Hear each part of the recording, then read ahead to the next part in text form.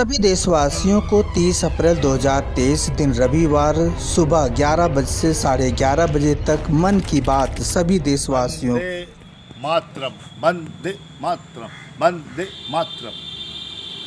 भारत सरकार, रक्षा मंत्रालय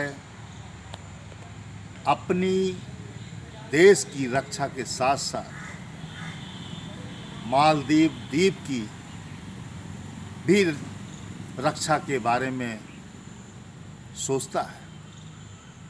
और इसी के तहत भारत के रक्षा मंत्री माननीय श्री राजनाथ सिंह जी मालदीप द्वीप में उस राष्ट्र को एक तेज गति का गश्ती जहाज़ और सामान उतारने के लिए एक छोटा पोत उस राष्ट्र को भारत की तरफ़ से उपहार के रूप में देने के लिए जा रहे हैं।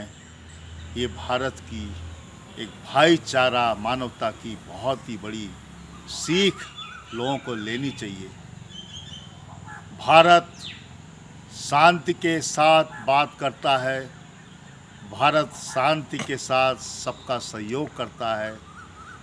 भारत मानवीय संवेदनाओं का सम्मान करता है।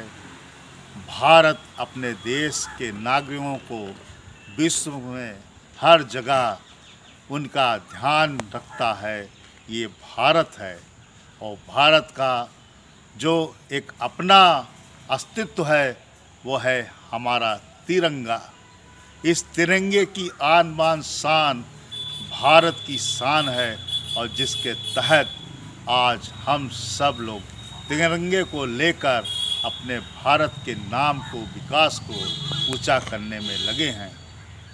रक्षा मंत्रालय के द्वारा इस उपहार को जो माननीय रक्षा मंत्री भारत सरकार मालदीव को भेंट करने जा रहे हैं, उस उपलक्ष्य में भारत के नागरिकों की तरफ़ से मालदीव के नागरिकों को हार्दिक शुभकामनाएँ और वहाँ के देश के रक्षा में लगे हुए सैनिकों को और उनसे संबंधित अधिकारियों को हमारी भारत की तरफ़ से उनको सल्यूट जय हिंद, जय भारत। नमस्कार दोस्तों, मेरे चैनल को सब्सक्राइब, लाइक करें और आइकॉन को ज़रूर दबाएँ ताकि आने वाले वीडियो को आपको नोटिफिकेशन मिल जाए। धन्यवाद।